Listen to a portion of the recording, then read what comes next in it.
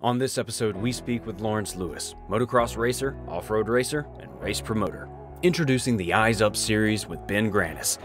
The Eyes Up mission extends beyond road safety, is to illuminate, illustrate, and demonstrate the benefits of life away from technology. When we put the phone down, it's a lot easier to look at the beauty around us, listen to the people we love, live life to the fullest.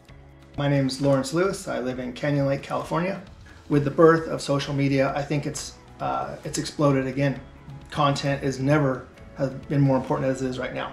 Uh, it's a great time for people to launch their own brands and to get the feedback like right away. It's, I mean, yes, is it easy to get distracted? And I mean, that's what the algorithms are for in social media. It pulls you another direction. It, it all goes back to balance. Like you just have to have like a, a platform of knowing, you know, you need to be outside. People need to be doing things with their family. You need to, you know, have face-to-face time. I I got him a cell phone when he was in seventh grade, which seems like still too young, but So he, it's a communication device. And I I mean, I would love if he didn't have one at all, but really, there's no way around it.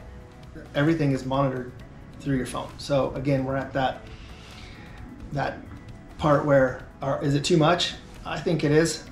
You know, when he gets home, for sure we'll we'll put the phone, you know, put it on the counter. We try to have you know our dinner time. We try to do something outside.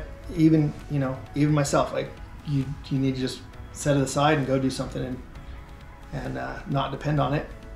It's it's become, um, I mean, it's become a part of everyone's life. It's we're connected in a way, and then we're disconnected in a way.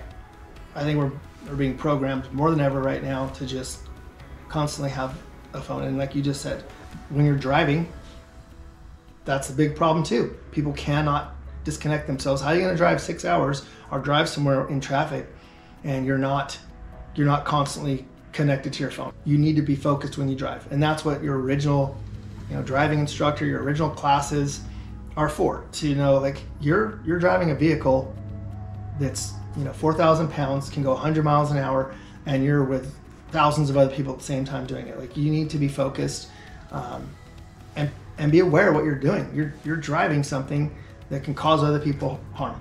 As parents, it is our responsibility to to lay down these rules and make sure you know there there's no distractions going on. You know, especially during these early early years of driving. Do you want to take someone's life by doing something stupid on your phone or in your car, like that you didn't even you never meant to happen?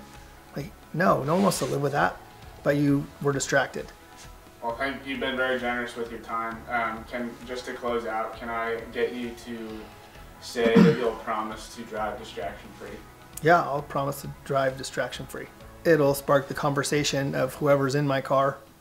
You know, why, when they call me and it sends them a message back, this person's not accepting calls. Well, then there's a few more people that are now understanding that I'm taking it seriously. Right. Or when someone else is in my car, telling them the same thing, like, hey, are you driving this way? So Right. it starts here. To learn more, visit eyesupride.com.